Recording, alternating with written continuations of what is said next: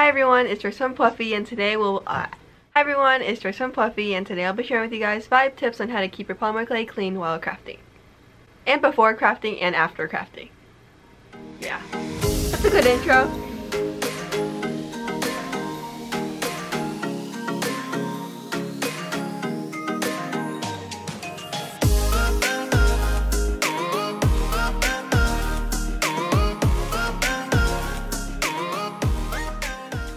Get started. So I guess I'll split this video into three sections. One is before crafting things you can do, during crafting, and after crafting. You know how when you scroll through a YouTube video, you can see like the little timestamps for each section? I'm gonna do those sections, just watch. If it doesn't happen, I couldn't figure it out.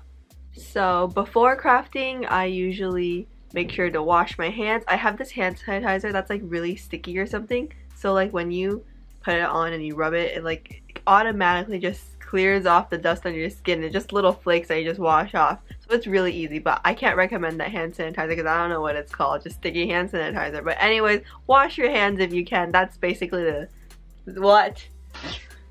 Why would you even mention the hand Because that's exactly how I clean my hands. So before you craft, make sure to wash your hands to get all the dust off and don't try to touch anything after that. So do it last like right before you start crafting. But before you wash your hands, I need to tell you something you have to do before that. Before you wash your hands, make sure you have a clean workspace first. So if you have a smooth hard surface that you can easily clean with Windex or Clorox wipe, do that first to get rid of all the dust. If you want, you can take a strip of tape and just tape the surface. And if you have like a rough surface to work on, you probably should get in a really thick big acrylic sheet that you can just place on your desk. Make sure it's heavy enough so it doesn't slide around while you're crafting. But get a big heavy acrylic sheet, slap it on your desk, and there's your surface that you can also clean and take off your desk. And you can put it back on after you're done so you don't have to clean your entire desk surface.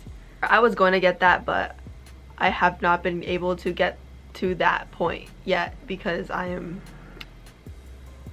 let me tell you the order of things.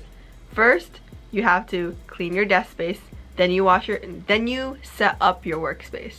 And then you wash your hands.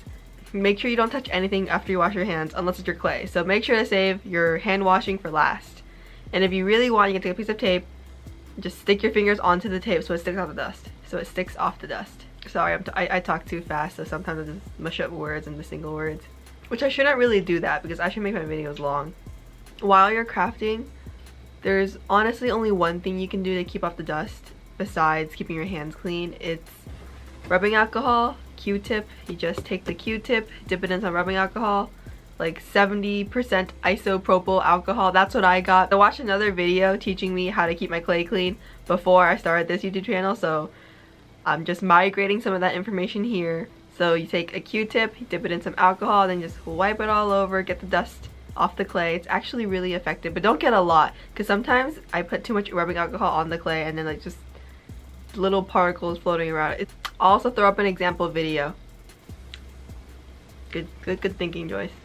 So here you have a slab of clay. I got some dust on it on purpose just to make sure that we can teach you for example purposes. So you take your Q-tip dipped in rubbing alcohol, then you just circle it around the dust so it picks it up, and then there you go.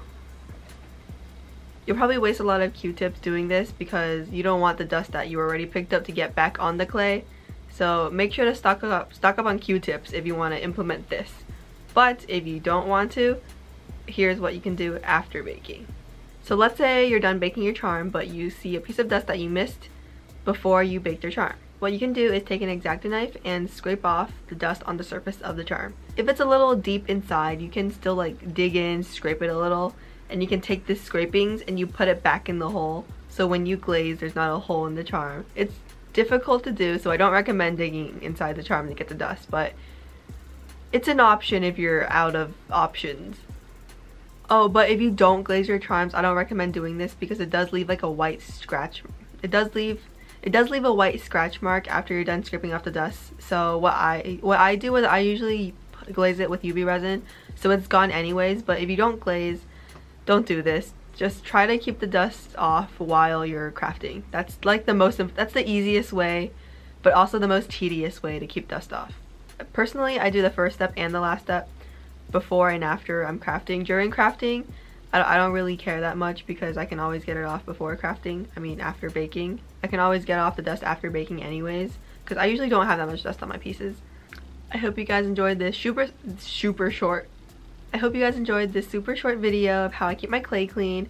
If this helped you in any way, please leave a like on the video and comment down below if you have any other tips that I didn't mention in this in this video in this video. Yeah.